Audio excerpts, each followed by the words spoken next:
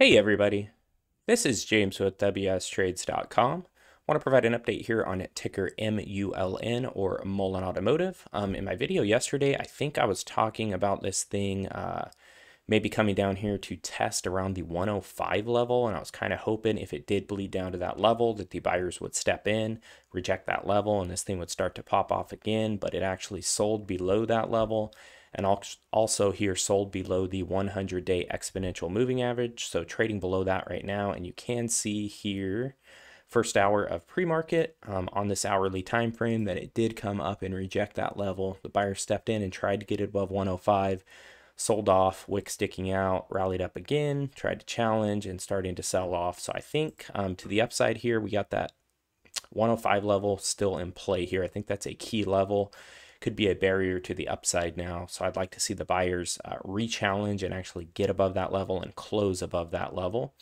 Um, since it's rejected here a few times in pre-market, um, some stuff to look at here to the downside might be around, let's see, we're around a buck, a buck one. I would say probably down here around 95 cents because you do have this as a previous resistance and then it was actually a nice area that the price bounced off of when it went into this uh, or continued this uptrend here. So I think that 95 cent level is key. So if the sellers, um, you know, start to drive this thing down, well, which they are right now, it just looks like the price dropped a little bit there, but if they start to drive this thing down, just keep an eye here on 95 cents. I think that's a key level to the downside. Um, if it does bleed down to that level, let's see if maybe the buyers will step in at that point. We'll see some rejection, and maybe this thing can come up and, um, you know, retest that 105 level.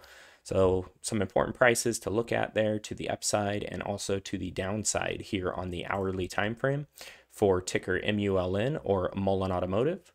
Please like this video Please also subscribe to the channel if you're not subscribed. Hit that notification bell. Appreciate you guys for taking the time to watch this.